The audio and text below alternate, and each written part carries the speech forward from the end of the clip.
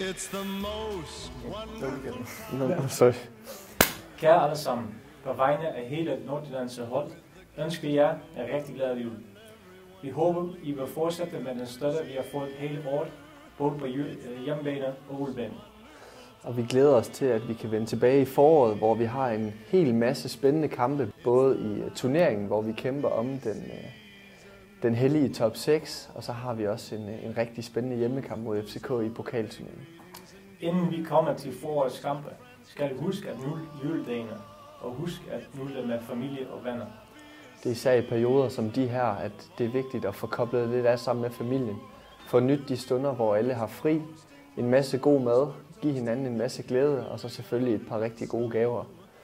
Så vil vi til slut sige øh, glædelig jul til alle sammen, øh, og forhåbentlig så ligger der også en enkelt OB-julegave eller to under træet.